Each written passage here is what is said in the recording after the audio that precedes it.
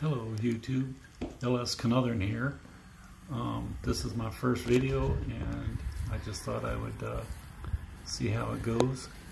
Um, I'm expecting an arrival of my new toy and uh, after watching the video I got some still shots of what I've done with it.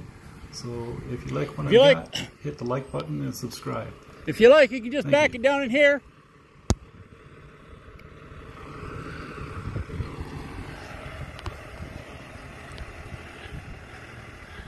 So this is my LSMT 125 loader backhoe. And just arriving today. So once we learn how to use it, I think we'll have some fun with it.